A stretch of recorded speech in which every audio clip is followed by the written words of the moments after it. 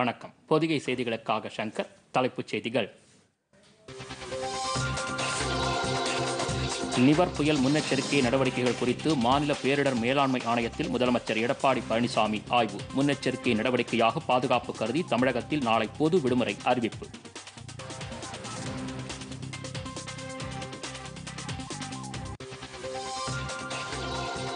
சென்னையின் தென்கிழக்கே நானூற்று முப்பது கிலோமீட்டர் தொலைவில் நிவர் புயல் நிலை கொண்டுள்ளது. நாளை மாலை மகாபலிபுரம் காரைக்கால் இடையே புதுச்சேரி அருகே புயல் கரையை கடக்கும். சென்னை வானிலை ஆய்வு மைய துணைத் தலைமை இயக்குநர் பாலச்சந்திரன் பேட்டி.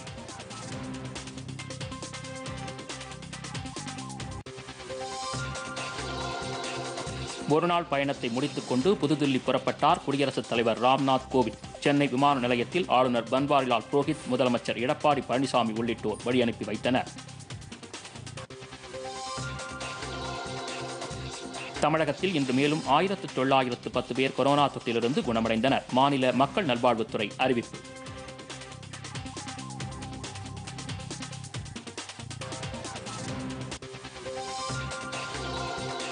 நிவர் புயல் எதிரொலியாக சென்னையில் நாளை புறநகர் மின்சார ரயில் சேவை ரத்து. பாதுகாப்பு நடவடிக்கை என தெற்கு ரயில்வே அறிவிப்பு.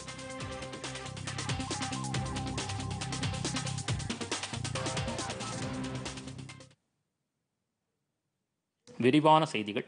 நிவர் புயல் முன்னெச்சரிக்கை நடவடிக்கைகள் குறித்து மாநில பேரிடர் மேலாண்மை ஆணையத்தில் முதலமைச்சர் எடப்பாடி பழனிசாமி இன்று ஆய்வு நடத்தினார். பின்னர் பேசிய அவர் கடலோர மாவட்டங்களில் புயல் நிலவரம் குறித்து முக்கிய கவனம் செலுத்தி வருவதாக கூறினார்.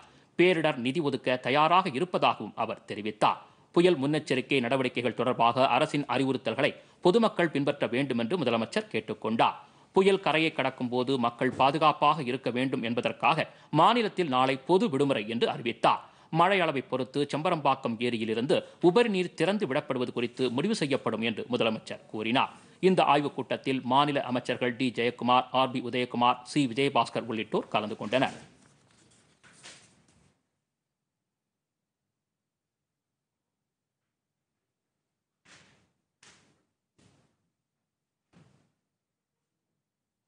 நிவர் புயல் முன்னெச்சரிக்கை நடவடிக்கை குறித்து பிரதமர் நரேந்திர மோடி தமிழக முதலமைச்சர் எடப்பாடி பழனிசாமி புதுச்சேரி முதலமைச்சர் வி. நாராயணசாமி ஆகியோருடன் தொலைபேசி மூலம் தொடர்பு கொண்டு கேட்டறிந்தார். இது தொடர்பாக தமிழக அரசு வெளியிட்டுள்ள செய்திக்குறிப்பில் தமிழகத்தில் புயல் தொடர்பாக எடுக்கப்பட்டுள்ள முன்னெச்சரிக்கை நடவடிக்கைகளை கேட்டறிந்ததுடன் தேவைப்படும் உதவியும் ஒத்துழைப்பும் மத்திய அரசால் வழங்கப்படும் என பிரதமர் தெரிவித்ததாக கூறப்பட்டுள்ளது.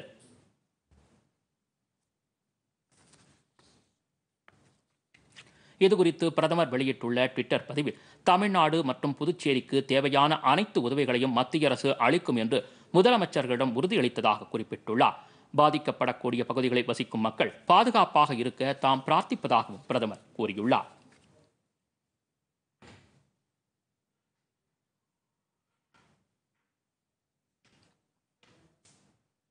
நிவர் புயல் சென்னைக்கு தென்கிழக்கே நானூற்று முப்பது கிலோமீட்டர் தொலைவில் நிலை கொண்டுள்ளதாக சென்னை வானிலை ஆய்வு மைய தென்மண்டல துணைத் தலைமை இயக்குநர் பாலச்சந்திரன் தெரிவித்துள்ளார். அடுத்த இருபத்தி நான்கு மணி நேரத்தில் தீவிர புயலாக வலுவடைந்து வடமேற்கு திசையில் நகர்ந்து நாளை மாலை மகாபலிபுரம் காரைக்கால் இடையே புதுச்சேரிக்கு அருகே கரையை கடக்கக்கூடும் என்று அவர் தெரிவித்தார்.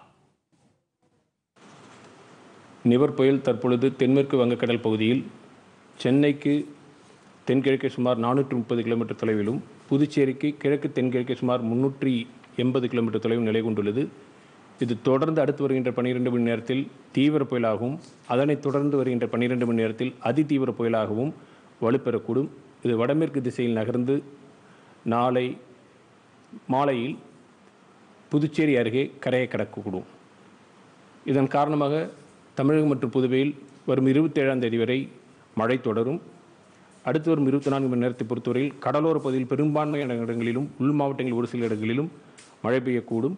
கனமழை பொறுத்தவரையில் அடுத்து வரும் இருபத்தி நான்கு மணி நேரத்தில் காரைக்கால் நாகப்பட்டினம் மயிலாடுதுறை மாவட்டங்களில் ஒரு இடங்களில் அதி கனமழையும் திருவள்ளூர் சென்னை காஞ்சிபுரம் செங்கல்பட்டு விழுப்புரம் கடலூர் தஞ்சாவூர் திருவாரூர் மாவட்டங்களில் ஓரு இடங்களில் கன முதல் மிக கனமழை பெய்யக்கூடும்.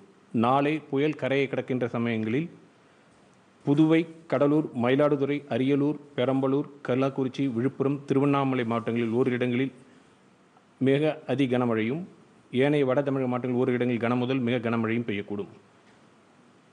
காற்றை பொறுத்தவரையில் நாளை புயல் கரையை கடக்கின்ற சமயத்தில் நாகை காரைக்கால் மயிலாடுதுறை கடலூர் புதுவை விழுப்புரம் செங்கல்பட்டு மாவட்டங்களில் மணிக்கு நூற்று இருபது முதல் நூற்று முப்பது கிலோமீட்டர் வேகத்திலும் சமயங்கள் நூற்று நாற்பத்தைந்து கிலோமீட்டர் வேகத்திலும் வீசக்கூடும். திருவாரூர் காஞ்சிபுரம் சென்னை திருவள்ளூர் ஆகிய மாவட்டங்களில் மணிக்கு எண்பது முதல் தொண்ணூறு கிலோமீட்டர் வேகத்திலும் சமயங்களில் நூறு கிலோமீட்டர் வேகத்திலும் பலத்த காற்று வீசக்கூடும். கடல் நிலையை பொறுத்தவரையில் நாளை இரவு வரை தமிழக கடற்கரை ஒட்டியுள்ள கடல் பகுதிகள் கொந்தளிப்புடன் காணப்படும். கடல் அலைகள் இயல்பை விட இரண்டு மீட்டர் உயரம் உயரக்கூடும். மீனவர்கள் நாளை வரை கடலுக்கு செல்ல வேண்டாம் என்று அறிவுறுத்தப்படுகிறார்கள். சென்னை மற்றும் புறநகரை பொறுத்தவரையில் மழை தொடரும். சம் சில பகுதிகளில் கனத்து முதல் மிக கனமழையாக இருக்கும். ஒருநாள் பயணத்தை முடித்துக்கொண்டு குடியரசுத் தலைவர் ராம்நாத் கோவிந்த் மீண்டும் புதுதில்லி புறப்பட்டார். சென்னை விமான நிலையத்தில் ஆளுநர் பன்வாரிலால் புரோஹித் முதலமைச்சர் எடப்பாடி பழனிசாமி உள்ளிட்டோர் குடியரசுத் தலைவரை வழியனுப்பி வைத்தனர்.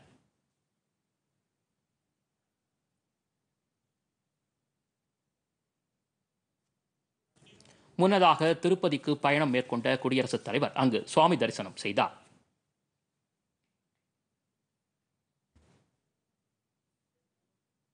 குஜராத் மாநிலம் வதோதராவில் நடைபெறும் நிகழ்ச்சியில் கலந்து கொள்வதற்காக குடியரசு துணைத் தலைவர் வெங்கையா நாயுடு இன்று சென்னையிலிருந்து சிறப்பு விமானம் மூலம் புறப்பட்டார். கடந்த ஒரு வார காலமாக சென்னையில் பல்வேறு நிகழ்ச்சிகளில் கலந்து கொண்ட குடியரசு துணைத் தலைவர் குஜராத் நிகழ்ச்சியை முடித்துக்கொண்டு மீண்டும் சென்னை திரும்ப உள்ளார்.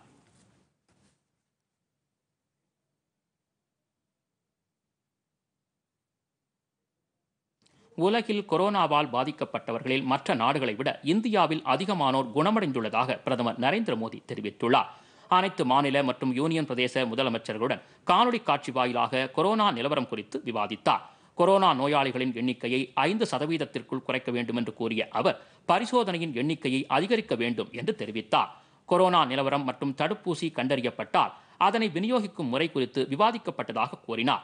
அனைவரும் ஒருங்கிணைந்து செயல்பட்டதன் காரணமாக நாட்டில் கொரோனா பாதிப்பு மற்றும் இறப்பு விகிதம் குறைந்துள்ளதாகவும் தெரிவித்தார் தடுப்பூசி கண்டறியப்பட்டால் அதனை சேமித்து வைப்பதற்கான குளிர்சாதன கிடங்குகளை கட்டுவதற்கான கட்டுமானப் பணிகளை தொடங்க வேண்டும் என்று கூறினார் கொரோனா நிலவரம் குறித்து மாநில முதலமைச்சர்கள் தகவல்களை பரிமாறிக்கொள்ள வேண்டும் என்றும் அவர் அப்போது தெரிவித்தார்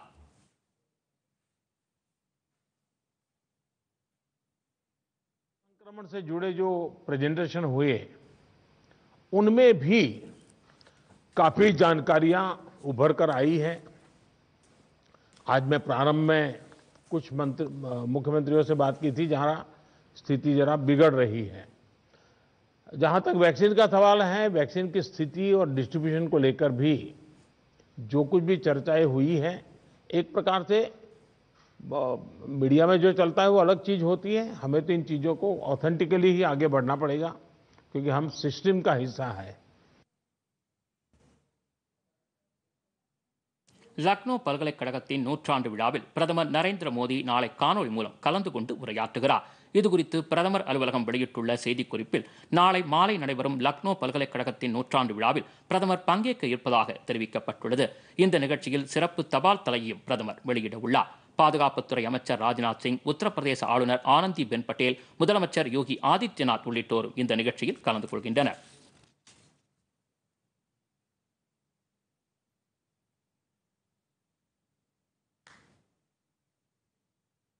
சென்னை தலைமை செயலகத்தில் முதலமைச்சர் எடப்பாடி பழனிசாமி முடிவுற்ற பல்வேறு திட்டப்பணிகளை தொடங்கி வைத்தார். திருவள்ளூர் மாவட்டம் அயப்பாக்கம் மற்றும் கொரட்டூர் வேளச்சேரியில் கட்டப்பட்டுள்ள அம்மா திருமண மண்டபத்தை காணொலி காட்சி வாயிலாக அவர் திறந்து வைத்தார்.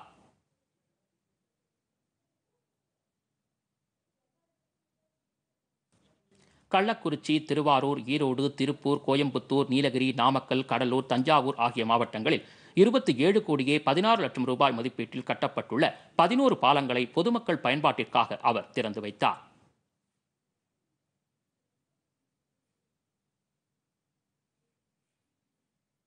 தமிழ்நாடு தீயணைப்பு மற்றும் மீட்புப் பணிகள் துறையின் சார்பில் உருவாக்கப்பட்டுள்ள தீ என்ற அலைபேசி சேவையை தொடங்கி வைத்தார்.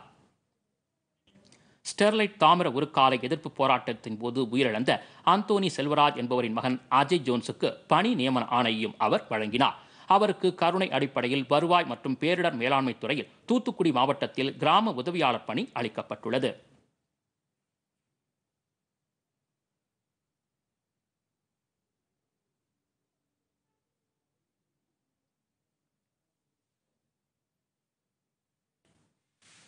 வங்கக்கடலில் உருவாகியுள்ள நிவர் புயல் காரைக்கால் மாமல்லபுரம் இடையே கரையை கடக்க உள்ள நிலையில் புதுச்சேரி முதலமைச்சர் நாராயணசாமியிடம் பிரதமர் நரேந்திர மோடி தொலைபேசியில் பேசினார்.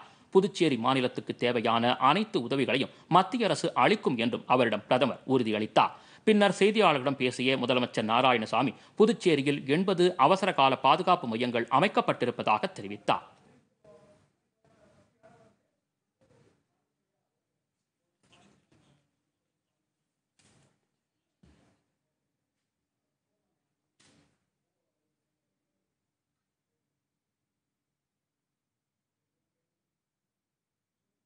நிவர் புயல் குறித்து புதுச்சேரியிலிருந்து நமது நிருபர் தற்போது நேரலையில்.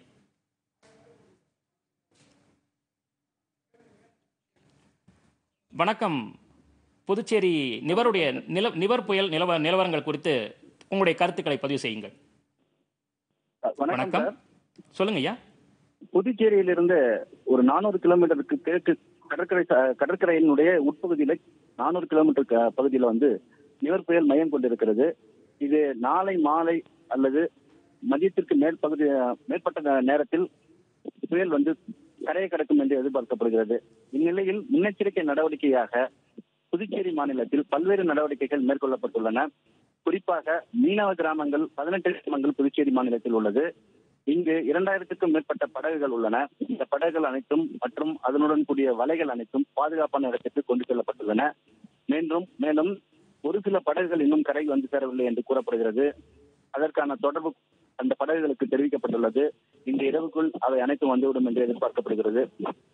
அதே போன்று மாநிலத்தில் உள்ள உட்பகுதிகளில் தாழ்வான பகுதிகளில் இருக்கும் மக்கள் பாதுகாப்பான இடத்திற்கு வருவதற்காக எண்பது மையங்களை மாநிலம் முழுவதும் ஏற்பாடு ஏற்பாடு செய்யப்பட்டுள்ளன. இதில் உணவு மற்றும் அத்தியாவசிய தேவைகள் அனைத்தும் முழு வகையில் ஏற்பாடு செய்யப்பட்டுள்ளன. மேலும் மாநில முதலமைச்சர் பிரதம மந்திரியுடன் தொடர்பு கொண்டு பேசியதில் தற்பொழுது மாநிலத்தில் நிலவும் அவர் கேட்டறிந்ததாகவும் மாநிலத்திற்கு ஏற்ப புதுச்சேரி மாநிலத்திற்கு தேவையான அனைத்து வசதிகளையும் செய்து கொடுப்பதாக உறுதியளித்துள்ளதாகவும் புதுச்சேரி முதலமைச்சர் நாராயணசாமி தெரிவித்துள்ளார். மேலும் இன்று இரவு ஒன்பது முப்பது ஒன்பது மணியிலிருந்து இருபத்தி ஆறாம் தேதி காலை ஆறு மணி வரை ஊரடங்கு உத்தரவு அதாவது நூத்தி நாற்பத்தி நான்கு சட்டம் பிறப்பிக்கப்பட்டுள்ளது.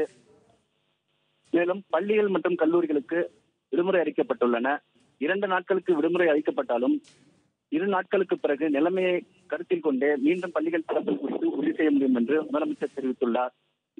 மற்றும் காரைக்கால் பகுதிகள் காரைக்கால் மற்றும் புதுச்சேரி பகுதிகளுக்காக மூன்று குழுக்கள் பேரிடர் மேலாண்மை சிறப்பு பயிற்சி பெற்றவர்கள் மூன்று குழுக்கள் வந்துள்ளன. புதுச்சேரியில் மட்டும் நாற்பது பேர் கொண்ட குழு தற்போது உள்ளது. இந்த குழுக்கள் நான்கு குழுக்களாக பிரிந்து பல்வேறு இடங்களில் நிறுத்தப்பட்டுள்ளன. இவை புயலின் பொழுது இருபத்தி நாலு மணி நேரமும் தயார் நிலையில் இருக்கப்பட்டுள்ளது. மேலும் சுகாதாரத்துறை மற்றும் பேரிடர் மேலாண்மை துறை சுகாதாரத்துறை பேரிடர் மேலாண்மை துறை மற்றும் அனைத்து துறைகளும் முழுவீச்சில் செயல்பட வேண்டும் என்றும் முதலமைச்சர் உத்தரவிட்டுள்ளார். இதனால் புதுச்சேரி மாநிலத்தில் உள்ள அனைத்து அரசு அதிகாரிகளும் தயார் நிலையில் பாதுகாப்பு பணியில் ஈடுபட்டுள்ளனர். ஐயா தற்போது மழை நிலவரம் அங்க எப்படி இருக்குங்க? மழை நேரம் இன்று காலை முதல் லேசாக மழை விட்டு விட்டு பெய்தது. ஆனால் தற்பொழுது வந்து மழை வந்து லேசான தூறலாக உள்ளது. ஆனால் காற்றினுடைய வேகம் தற்பொழுது அதிகரித்துள்ளது. இந்த காற்றினுடைய வேகம் வந்து படிப்படியாக அதிகரிக்கும் என்று எதிர்பார்க்கப்படுகிறது. காலையிலிருந்து ஒப்பிடும்பொழுது தற்பொழுது காற்றின் வேகம் கொஞ்சம் அதிகமாக உள்ளதனால் கடற்கரை ப- பகுதி முழுவதும் அதாவது சுற்றுலா பயணிகள் அதிகமாக வந்து செல்லும் பாண்டிச்சேரியினுடைய கடற்கரை சாலை முழுவதுமாக முடக்கப்பட்டுள்ளன. இந்த பகுதிகளில் யாரும் வரக்கூடாது என்பதற்காக பேரிகார்டுகள் போட்டு அடைக்கப்பட்டுள்ளன. அதே போன்று தமிழக பகுதியில் இருந்து யாரும் உள்ளே வரக்கூடாது என்று அனைத்து பகுதிகளிலும் அடைக்கப்பட்டுள்ளன. மேலும் புதுச்சேரியில் உள்ள அனைத்து அரசு மற்றும் தனியார் போக்குவரத்துகள் நிறுத்தப்பட்டுள்ளன. சிறு சிறு வாகனங்கள் மட்டுமே சென்று வருகின்றன. இது நாளை காலை மற்றும் பதினோரு மணிக்குள் அனைத்தும் முடக்கப்பட்டு நிசப்தமான நிலையில் புதுச்சேரி இருக்கும் என்று எதிர்பார்க்கப்படுகிறது. நன்றி. உங்களுடைய தகவலுக்கு இதயபூர்வமான நன்றியை தெரிவித்துக் கொள்கிறோம். சிறிய விளம்பர இடைவேளைக்கு பிறகு செய்திகள் தொடரும்.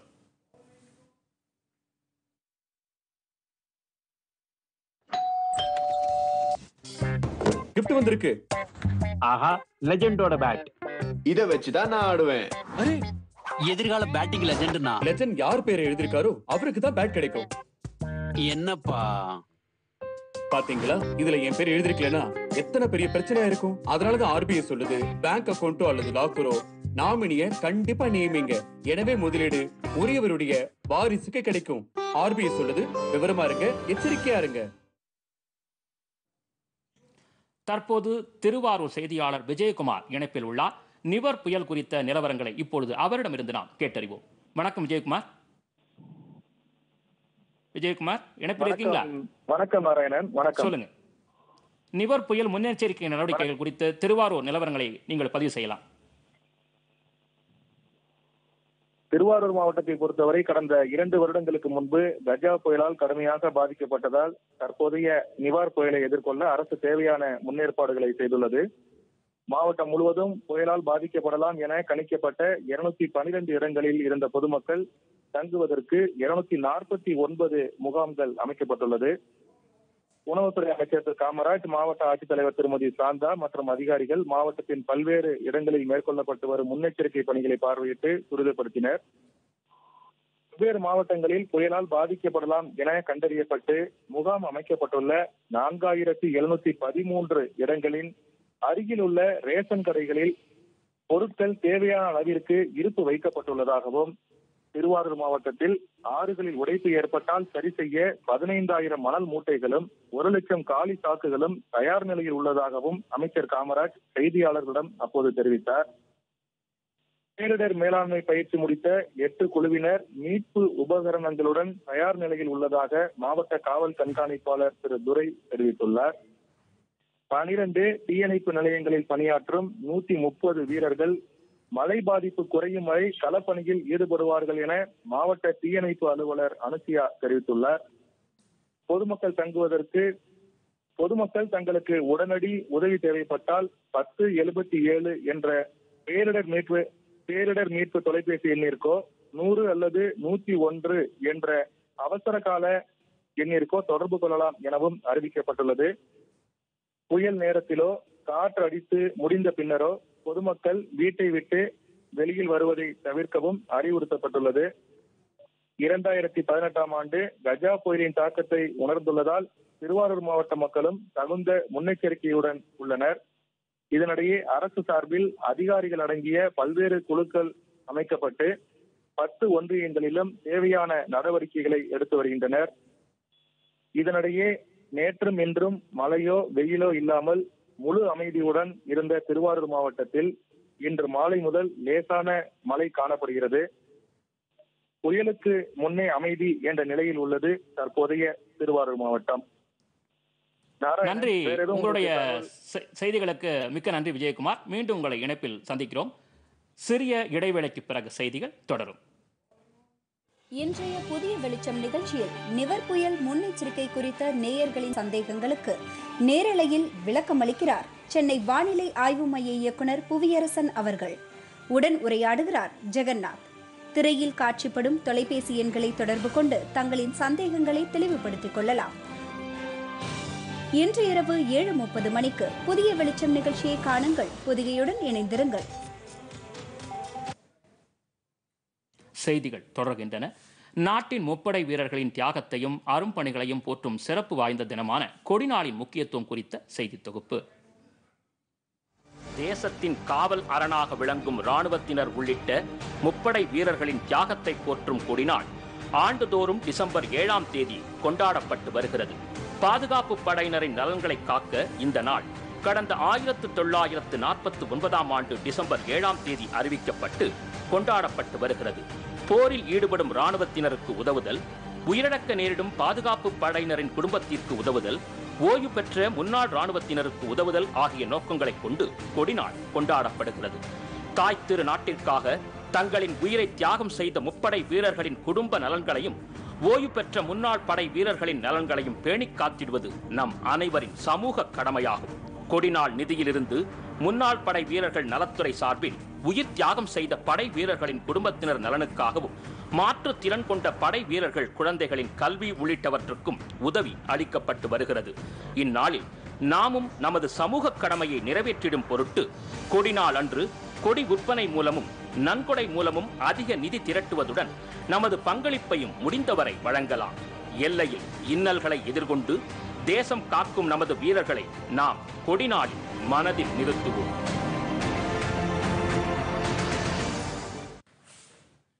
நிவர் புயல் நாளை பிற்பகல் மாமல்லபுரம் காரைக்கால் இடையே கரையை கடக்க உள்ள நிலையில் அது குறித்த தகவல்களை அவ்வப்போது அளிக்க சென்னை பொதிகை தொலைக்காட்சியின் செய்தி பிரிவு சிறப்பு செய்தி ஒளிபரப்புக்கு ஏற்பாடு செய்துள்ளது.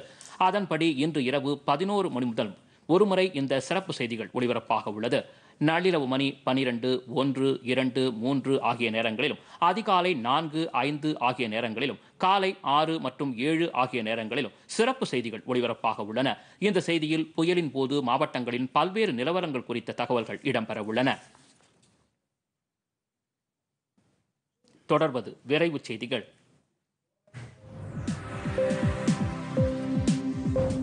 சென்னை மாநகராட்சியின் சார்பில் நடமாடும் புயல் கட்டுப்பாட்டு வாகனத்தை மாநில உள்ளாட்சித்துறை அமைச்சர் எஸ் பி வேலுமணி கொடியசைத்து தொடங்கி வைத்தார். பின்னர் புயல் பாதுகாப்பு முன்னெச்சரிக்கை நடவடிக்கைகள் குறித்தும் அவர் ஆய்வு மேற்கொண்டார். மத்திய அரசின் ஸ்மார்ட் சிட்டி திட்டத்தின் கீழ் ஒருங்கிணைந்த வகையில் தகவல்களை பெறும் வகையில் கட்டுப்பாட்டு மையம் தொடங்கப்பட்டுள்ளது. பின்னர் செய்தியாளர்களிடம் பேசிய அமைச்சர் எஸ் பி வேலுமணி சென்னை மாநகராட்சியில் உள்ள நூற்று எழுபத்தாறு நிவாரண மையங்களில் எழுபத்தி ஏழு மையங்கள் தயார் நிலையில் இருப்பதாக கூறினார். மழைநீர் தேங்கியிருக்கும் இடங்களில் உடனுக்குடன் தண்ணீர் அகற்றப்பட்டு வருவதாகவும் தெரிவித்தார்.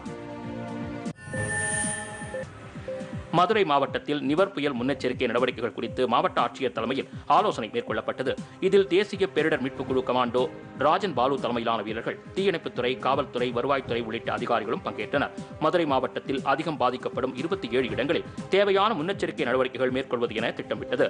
மழை பாதிப்புகள் குறித்து பூஜ்ஜியம் நான்கு ஐந்து இரண்டு இரண்டு ஐந்து மூன்று பூஜ்ஜியம் ஐந்து இரண்டு ஒன்று என்ற தொலைபேசி எண்ணிலும் ஒன்பது ஐந்து ஒன்பது ஏழு ஒன்று ஏழு ஆறு பூஜ்ஜியம் ஆறு ஒன்று என்ற மொபைல் எண்ணில் வாட்ஸ்அப் வழியாகவும் தகவல் தெரிவிக்கலாம் என்று அறிவிக்கப்பட்டுள்ளது.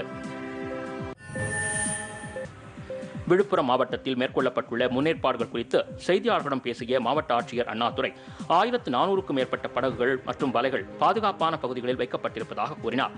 பத்தொன்பது மீனவ கிராமங்களைச் சேர்ந்த மக்கள் பனிரெண்டு பாதுகாப்பு மையங்களில் பாதுகாப்பாக தங்க வைக்கப்பட்டுள்ளதாகவும் தெரிவித்தார். அத்தியாவசிய தேவைகள் தடையின்றி கிடைக்க முன்னெச்சரிக்கை நடவடிக்கைகள் மேற்கொள்ளப்பட்டிருப்பதாகவும் மாவட்ட ஆட்சியர் கூறினார். நீலகிரி மாவட்டத்தில் புயலால் பாதிக்கப்படும் இருநூற்று எண்பத்தி மூன்று பகுதிகள் கண்டுபிடிக்கப்பட்டு இருபத்தி நான்கு மணி நேரம் கண்காணிக்கப்பட்டு வருகின்றன. இதுகுறித்து செய்தியாளர்களிடம் பேசிய மாவட்ட ஆட்சியர் இன்னசென்ட் திவ்யா பாதிக்கப்படும் மக்களை தங்க வைக்க நானூற்று ஐம்பத்தாறு பாதுகாப்பு மையங்கள் அமைக்கப்பட்டுள்ளதாக கூறினார். நிலச்சரிவு அபாயம் உள்ள பகுதிகளில் உள்ளவர்கள் உடனடியாக பாதுகாப்பான இடங்களுக்கு செல்லும்படி அறிவுறுத்தப்பட்டுள்ளதாகவும் தெரிவித்தார். மிகவும் அபாயகரமான பகுதிகளில் நாற்பது மாநில பேரிடர் மீட்புக் குழுவினர் ஈடுபடுத்தப்பட்டுள்ளனர் என்று மாவட்ட ஆட்சியர் குறிப்பிட்டார். புயலால் பாதிக்கப்படாதவாறு புதுக்கோட்டை நகராட்சிக்கு உட்பட்ட பகுதிகளில் அமைக்கப்பட்டுள்ள உயர் மின் விளக்குகள் கீழே இறக்கப்பட்டு வருகின்றன. பாதிக்கப்பட்ட பகுதிகளுக்கு செல்ல தீயணைப்பு வீரர்களும் தயார் நிலையில் உள்ளனர். தாழ்வான பகுதிகளில் வசிப்பவர்கள் மேடான பகுதிகளுக்கு செல்லவும் அறிவுறுத்தப்பட்டுள்ளனர். அதேபோல புதுக்கோட்டை மாவட்ட மக்களும் தங்கள் வீடுகளுக்கு அருகில் உள்ள மரங்களின் கிளைகளை வெட்டி புயலால் பாதிக்காதவாறு முன்னேற்பாடுகளை செய்து வருகின்றனர். முழுமையாக நிரம்பிய குளங்களில் இருந்து பாதுகாப்பான முறையில் தண்ணீரை வெளியேற்ற நடவடிக்கைகள் எடுக்கப்பட்டு வருகின்றன. நிவர் புயல் நாளை மாலை கரையை கடக்கும் என்பதால் நாளை காலை பத்து மணியிலிருந்து சென்னை புறநகர் மின்சார ரயில் சேவை மறு உத்தரவு வரும் வரை ரத்து செய்யப்படுவதாக அறிவிக்கப்பட்டுள்ளது. அதே நேரத்தில் தமிழகத்தில் பல்வேறு இடங்களில் இயக்கப்படும் சிறப்பு ரயில்களும் ரத்து செய்யப்படுவதாக தெற்கு ரயில்வே நிர்வாகம் தெரிவித்துள்ளது. குறிப்பாக சென்னை மதுரை சென்னை காரைக்குடி உள்ளிட்ட சிறப்பு ரயில்கள் ரத்து செய்யப்படுவதாக செய்திக்குறிப்பில் கூறப்பட்டுள்ளது. அரசு பள்ளி மாணவர்களுக்கு மருத்துவ படிப்பில் ஏழு புள்ளி ஐந்து சதவீத இடஒதுக்கீடு அளிக்கப்பட்டுள்ளதை எதிர்த்து சென்னை உயர்நீதிமன்றத்தில் வழக்கு தொடரப்பட்டுள்ளது. இதனை அவசர வழக்காக விசாரிக்க வேண்டும் என்று வழக்கறிஞர் கோரிக்கை விடுத்ததை நீதிபதிகள் சத்யநாராயணன் ஹேமலதா ஆகியோர் ஏற்க மறுத்துவிட்டனர். அரசு பள்ளி மாணவர்களுக்கான இடஒதுக்கீட்டை நிறுத்த உத்தரவிட முடியாது என்றும் நீதிபதிகள் கூறினர். மனுவாக தாக்கல் செய்யப்பட்டு பட்டியலிடப்பட்ட பிறகு விசாரணைக்கு எடுத்துக் கொள்ளப்படும் என்று நீதிபதிகள் தெரிவித்தனர். துபாயிலிருந்து சென்னை வந்த விமானத்தில் வந்த புதுக்கோட்டையைச் சேர்ந்த உமா கொலுசு பிபி மாஹரி பாபா பிபி மதுரையைச் சேர்ந்த மூன்று பெண் பயணிகளும் தங்கம் கடத்தி வருவதாக கிடைத்த தகவலின் அடிப்படையில் சென்னை விமான நிலையத்தின் வெளியேறும் வாயிலில் அருகே அவர்களை இடைமறித்து சோதனை செய்யப்பட்டனர். அவர்களை தனிப்பட்ட முறையில் சோதனையிட்ட போது பசை வடிவிலான பதினோரு பாக்கெட் தங்கப்பட்டலங்கள் கைப்பற்றப்பட்டன. இதிலிருந்து தங்கத்தை பிரித்தெடுத்த போது அறுநூற்று நான்கு கிராம் அளவுக்கு இருபத்து நான்கு கேரட் தூய தங்கம் கிடைத்தது. இதன் மதிப்பு முப்பத்து ஒரு லட்சத்து நாற்பத்தி ஓராயிரம் ரூபாயாகும். இது தொடர்பாக சுங்கத்துறை சட்டத்தின் கீழ் மாஹரி பாபா பிபி கைது செய்யப்பட்டார். இது தவிர விமானத்தின் இருக்கையின் கீழ் மறைத்து வைக்கப்பட்டிருந்த இடத்திலிருந்து நாற்பத்தோரு லட்சத்து எழுபத்தோரு ரூபாய் மதிப்புள்ள எண்ணூற்று இரண்டு கிராம் தங்கம் கைப்பற்றப்பட்டது. மொத்தம் எழுபத்து மூன்று லட்சத்து பன்னிரெண்டாயிரம் ரூபாய் மதிப்புள்ள ஒன்று புள்ளி நாற்பது கிலோ தங்கம் பறிமுதல் செய்யப்பட்டது. இந்தியன் ஆயில் நிறுவனம் சர்வோ பிரைட் என்எக்ஸ்டி ரக இன்ஜின் ஆயில்களை அறிமுகம் செய்துள்ளது. இது புதிய இன்ஜினின் ஏபிஐசி கே ஃபோர் தொழில்நுட்பத்துக்கும் இதற்கு முந்தைய டீசல் என்ஜின்களுக்கும் இணக்கமாக இருக்கும். இந்தியன் ஆயில் நிறுவனத்தின் ஆராய்ச்சி மற்றும் மேம்பாட்டு மையத்தின் நவீன தொழில்நுட்பங்களை பயன்படுத்தி சிறப்பாக தயாரிக்கப்பட்டுள்ளன. இதன் வாயிலாக இன்ஜின் சிறப்பாக செயல்பட்டு நீண்ட தூர பயணத்தில் இரண்டு சதவீதம் வரை எரிபொருளை மிச்சப்படுத்தும். இந்தியன் ஆயில் நிறுவனத்தின் நிர்வாக இயக்குனர் சுமிமல் மொந்தல் கூறுகையில் இந்த இன்ஜின் ஆயில் லாரிகளுக்காக சிறப்பாக உருவாக்கப்பட்டுள்ளது. பிஎஸ் மாசு கட்டுப்பாட்டு விதிமுறைகளுக்கு உட்பட்டு சுற்றுச்சூழலுக்கு ஏற்ற வகையில் தயாரிக்கப்பட்டுள்ளதாக அவர் கூறினார்.